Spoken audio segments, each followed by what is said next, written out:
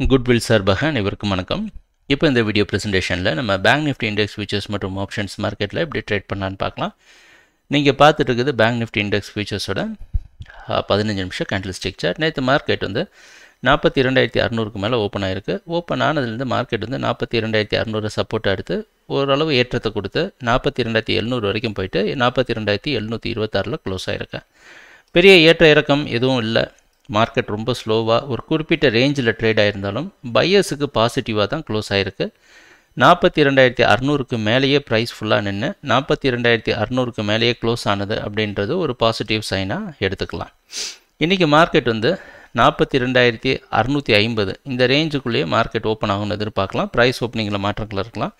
நம்ம ரொம்ப சீக்கிரமாக ரெக்கார்ட் பண்ணி போஸ்ட் பண்ணுறதுனால தொடர்ந்து மார்க்கெட் பையிங்க்கு சாதகமாக இருக்கும்னு எதிர்பார்க்கலாம். ஆனால் நம்ம என்ன பண்ணணும் அப்படின்னா நாற்பத்தி ரெண்டாயிரத்தி நானூறு வரைக்கும் பை பண்ணி நாற்பத்தி ரெண்டாயிரத்தி முந்நூறில் ஸ்டாப் லாஸ் வச்சு ட்ரேட் பண்ணலாம். அடுத்தடுத்த டார்கெட்டில் ரெசிஸ்டன்ஸை மார்க் பண்ணியிருக்கிறோம்.